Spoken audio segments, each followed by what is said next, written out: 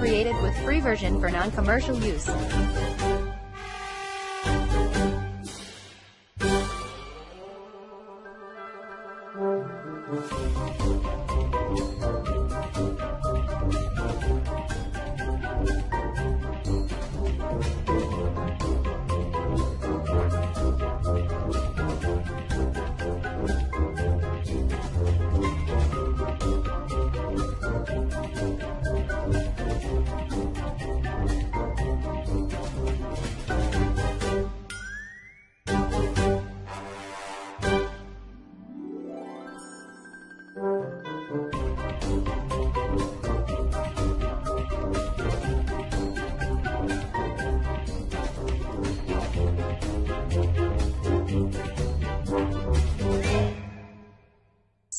Thank you.